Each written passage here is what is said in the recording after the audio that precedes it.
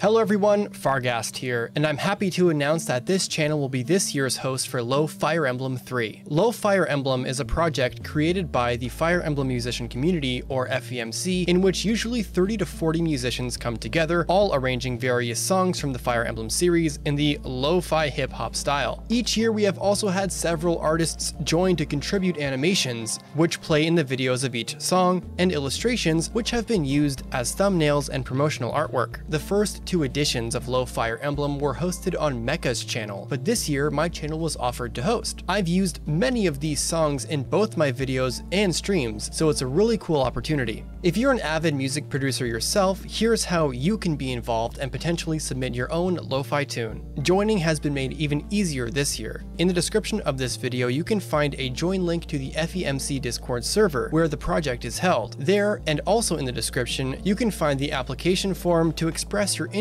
in contributing, and for musicians, the song form where you can write the details of any tracks that you're working on. All FEMC would like to know is your artist name, exactly as you'd like to be credited, and your Discord username so we can easily keep track of everybody. For song submissions, we just need the name of the original song, your track's title, if it's distinct from the original, and the game the song is from. Additionally, this year has a theme pair up. Producing music is of course a complicated process, but it doesn't have to be done alone, and one artist can easily learn from another. This focus on learning is why this year FEMC wants to focus on collaboration. Past compilations have included a number of tracks which were created collaboratively between multiple contributors, and this year the project has come up with several creative ways to encourage people to pair up and work together, though this of course remains completely optional. If you are interested in learning what exactly pair-up collaboration between artists means in this context, in short, there are three ways to give it a shot. Featuring.